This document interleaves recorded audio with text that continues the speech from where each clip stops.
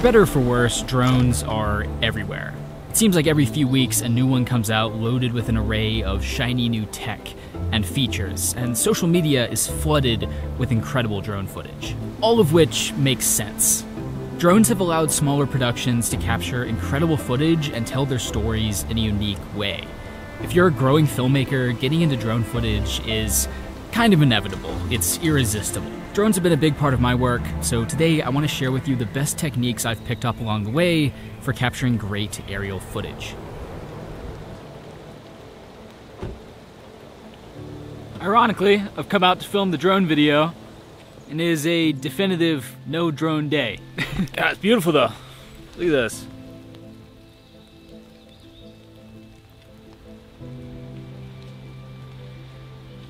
There is to be some background noise in this, but it's like rain falling and birds, so I think it's nice. Let's start by talking about gear. First, the drone itself, choosing the right drone. It feels like every day a new drone comes out with a bunch of new features that you need to get good footage, and all the other ones become obsolete. But if you have a flying camera, you're already 90% of the way there. The production value you get from that is insane. Those new features can be great for getting unique shots, but don't feel like your drone from a few years ago is obsolete. Use what you have and you will get great footage.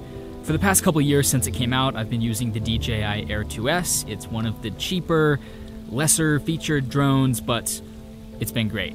No complaints. One accessory that can be really helpful for getting better drone footage is some ND filters for your drone. Now, if you're shooting around sunrise or sunset, these can be kind of dicey because the light is changing quickly and you can't adjust the exposure without bringing the drone down and switching the filter, which can cost you a lot of footage. But if you're shooting during the day when the light is consistent and too bright, where you have to crank your shutter, NDs will help you get way better footage, especially if the drone is moving quickly, if you're flying really fast or flying close to the subject. Using NDs will just help you to make sure you have realistic motion blur in your shots, as well as preventing flicker from the sun hitting the lens. Also, make sure to bring some extra batteries because these drone batteries only last like 20 to 30 minutes. So bring a few extras so you can make sure to get enough footage, as well as extra propellers just in case you crash your drone, chip a propeller, something like that. All right, all done with gear, but we can't go out and shoot quite yet because we have to do a bit of preparation to make sure we're going to be good to go. Starting with checking air maps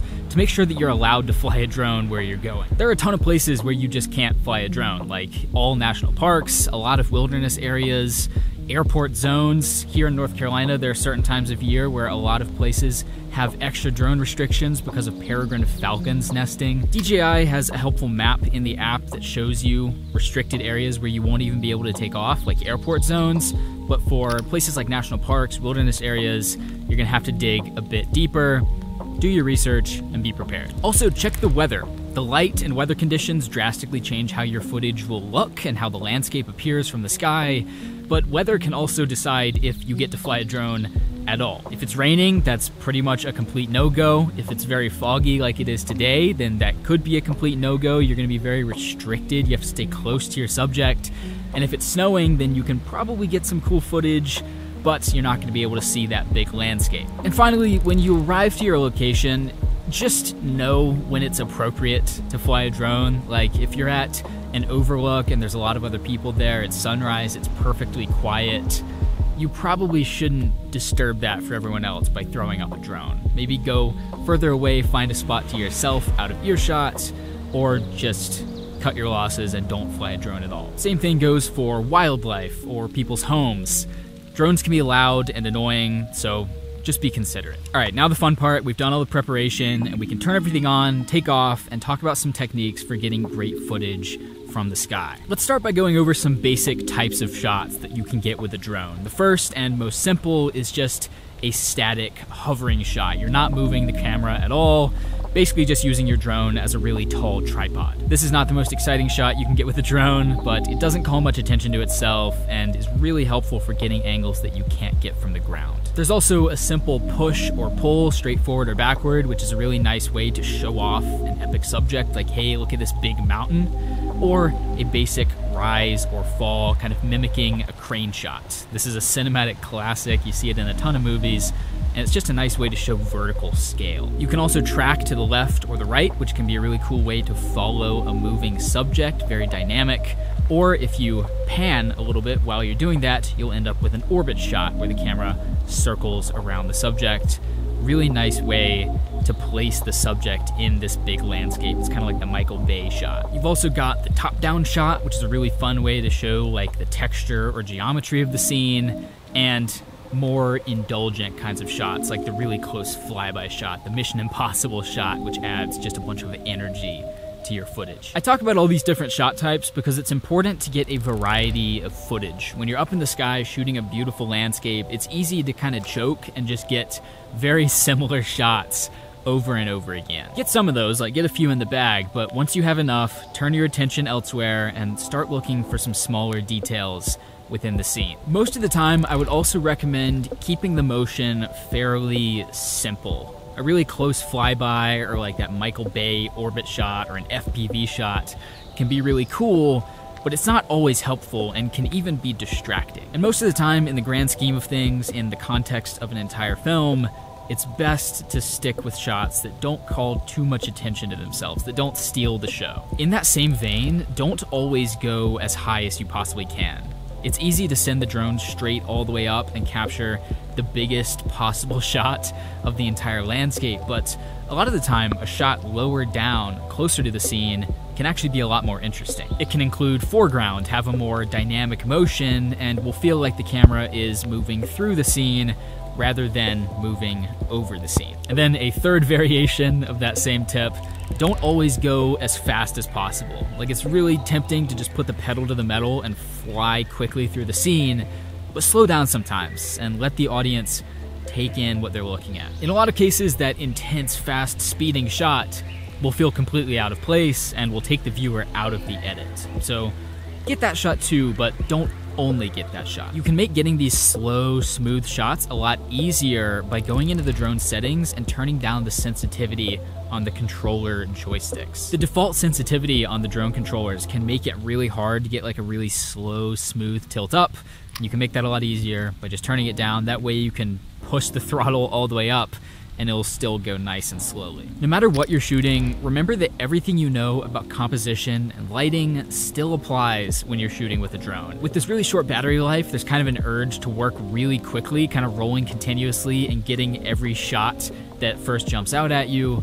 But slow down a bit. Find those interesting pockets of light and shadow in the scene, and fine tune your composition to arrange the different elements in the scene interestingly. It's actually a lot easier to work with light and composition on a drone because you can put the camera wherever you want really easily. This is another good reason to carry extra batteries. It's a lot easier to fine tune your lighting and composition and really craft beautiful images when you have an hour and a half to shoot rather than 25 minutes to shoot. And finally, try not to overindulge. Like, know when to bring it back down and get other types of footage with other non-flying cameras. Aerial footage is beautiful, but an entire video made of drone shots will quickly become boring for the audience. It's important to have other types of footage. Two, aerial footage should be a complement to your film, not the backbone of it. All right, so now we have a bunch of beautiful drone footage, but we're not done quite yet because there are a couple techniques I use in editing to fit drone footage into my projects that I want to tell you about. Starting off with coloring your drone footage to match your other footage. I find that drone footage usually doesn't quite match all of my other footage, like it feels a bit crispier and more clinical, so I take some steps in the grading to make sure to carefully match it to my other footage that usually includes adjusting the white balance to get rid of some of the kind of digital purplish tones that you can get with these drone cameras, as well as even adding some effects to soften that footage, like halation and bloom in the highlights, and even a bit of softening a lot of the time. A lot of the time, I'll also animate a bit of camera motion in post, shooting a very basic, like straight push or pull shot in camera, and then adding a very subtle tilt up in the edit. But you can also go a bit harder, like animating the rotation or adding camera shake. And finally, maybe the most important tip in this entire video is to understand the context of drone footage. Know when it makes sense to use it to further your story rather than just to indulge in a type of shot that looks really cool. Maybe you're using it to get a shot that you can't get from the ground. Maybe you're using it for a creative technique to show the vastness of the landscape or the geometry of the scene from above. Placing a tiny subject in the context of a massive environment or using it to move the camera through the scene really quickly. The list goes on. Using aerial footage to show the unique geology of Iceland's landscape, or how the eruption of Mount St. Helens altered the area around it, or how tall California's redwood trees are. Those situations, when drone footage isn't just a pretty garnish, but a tool for telling the story more effectively. Those situations are the ones where I'm really glad to have a drone in my camera bag. All right, that's all I have for you today, and I am now thoroughly soggy, so I'm gonna get out of here. But I hope you enjoyed this video, learned something new from it. If you did, be sure to subscribe to Adorama TV for thousands of other videos like this one, as well as checking out the other videos in this series. We have a bunch of other videos from composition to lighting to outdoor camera gear was the most recent one. You'll learn something. Check them out. Get out there, get some great drone footage, Stay dry, have fun.